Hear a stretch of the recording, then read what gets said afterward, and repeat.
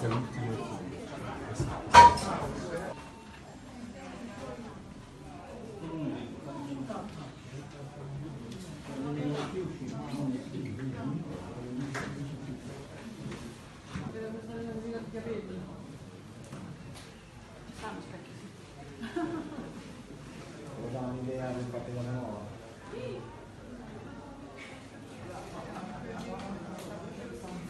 Possiamo finalmente portare a termine un'operazione per il ripristino della legalità. Lo Stato si è assentato da alcune zone, è stato veramente lontano in alcune zone di Roma, oggi riaffermiamo il primato delle istituzioni sempre a fianco dei cittadini onesti che hanno il diritto e il dovere di sentire le istituzioni, la polizia locale, le forze dell'ordine vicine e noi siamo qui per questo.